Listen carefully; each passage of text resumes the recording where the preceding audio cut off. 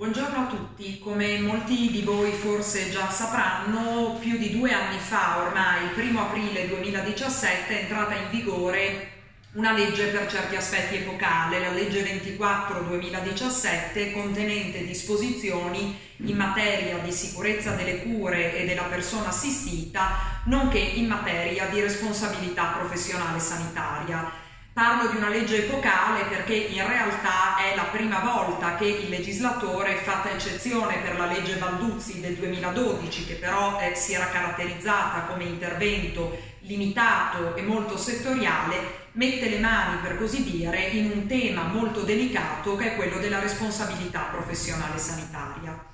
La cosiddetta legge Gelli Bianco o legge 24-2017 contiene infatti una serie di previsioni importanti che vanno a disciplinare sia il tema della responsabilità professionale, distinguendo fra responsabilità della struttura da un lato e responsabilità degli esercenti le professioni sanitarie dall'altro, ma va altresì a disciplinare tutta un'altra serie di fattispecie, fra le quali una di quelle più rilevanti è quella legata ai profili assicurativi. In realtà non è la prima volta che eh, il, il legislatore interviene sul tema dell'assicurazione in ambito sanitario. Anche la legge Gelli Bianco di fatto ribadisce la necessaria sussistenza di un obbligo assicurativo in capo a tutte le figure che ruotano nel mondo della sanità e dico ribadisce perché in realtà eh, questo obbligo sussisteva già dal 2011, ma come spesso avviene nel nostro ordinamento eh, la legge demanda a provvedimenti attuativi successivi il compito di definire e dettare la disciplina di dettaglio.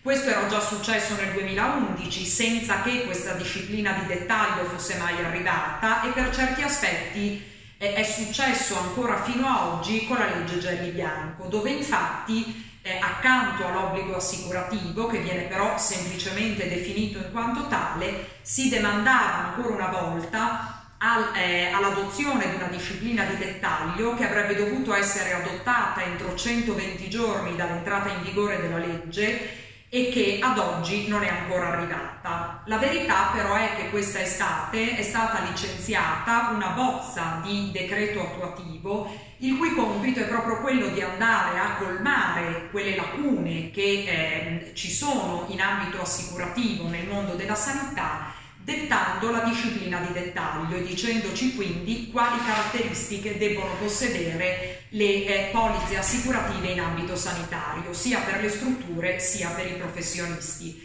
E ciò sia sotto il profilo dei massimali, sia sotto il profilo delle franchigie, sia sotto i profili dell'efficacia temporale, intesa come retroattività e ultraattività. I temi da approfondire sono tanti, eh, serve fare un po' di chiarezza in un settore che, come dicevamo, è stato oggetto di una disciplina alluvionale non sempre chiarissima. l'obiettivo del corso che eh, faremo qui presso lo studio legale Stefanelli il 4 novembre prossimo è proprio quello di fare il punto della situazione per cercare di capire quali sono i profili assicurativi legati all'esercizio dell'attività sanitaria e quali le più rilevanti novità alla luce dei più recenti interventi normativi e ciò anche se di fatto, e questo corre l'obbligo precisarlo, quello di cui parleremo è ad oggi soltanto uno schema di decreto attuativo, non è ancora un provvedimento in vigore, il che non significa tuttavia che non fornisca alcuni utili spunti per orientare una riflessione condivisa.